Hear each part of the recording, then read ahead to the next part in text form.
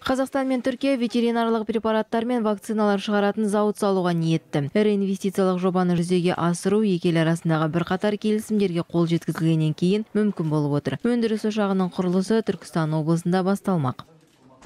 біз осындай инвестиция тарту мәселесімен үш этапқа бөліп келісімге тұрдық оның бірінші этапы 20 жылы құрылыс жұмыстарынан бастап 21 жылы іске қосу мәселесі ода 7 миллион долларға арналған жоба.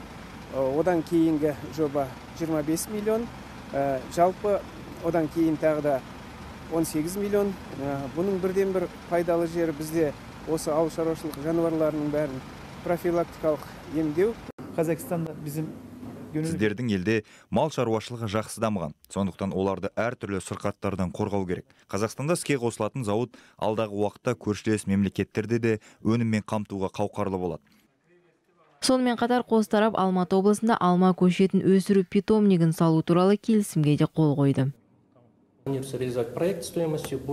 Құны 20 миллион доллардан асатын жобаны жүзеге асыру туралы келісімге қол қойдық оның 1 миллион долларын инвестор бүгін беруге даяр біз алматы түркістан жамбыл облыстарын жеміс көшеттерімен қамтимыз осы жоба аясында ағаштардың саулығын қамтамасыз ететін арнайы лаборатория да салынады Московской области. Это самый производящий продукции, плодово-ягодной продукции.